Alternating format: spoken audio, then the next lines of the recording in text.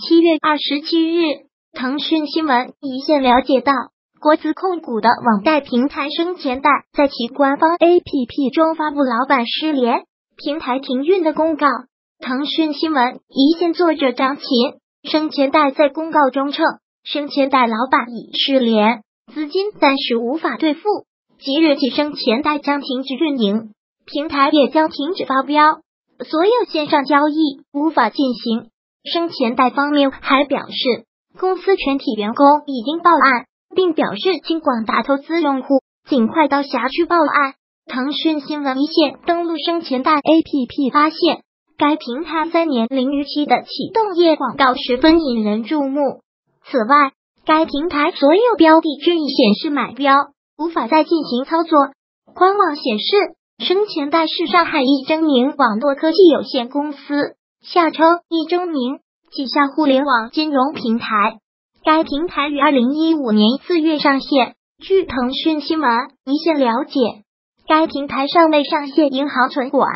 此前，二零一七年十月，该平台获得海南省华夏基金会控股子公司海南中海互通中小企业服务有限公司（以下简称中海互通）以人民币现金的方式收购易中明百分之八十股权。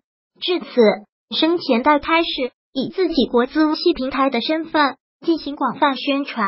生钱贷并非近日第一家爆雷的国资系平台。腾讯新闻一线了解到，近日爆雷的银豆网、立德财富、华泰金融、金银猫均属于此背景。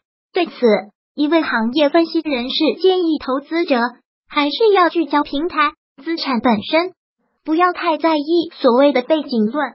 在其看来，不仅部分国资系平台，其实不少上市公司系的平台，上市公司股东实质上为 ST 股。存在着经营不善、股东大比例质押的情形，在近期的市场环境下，风险系数其实很高。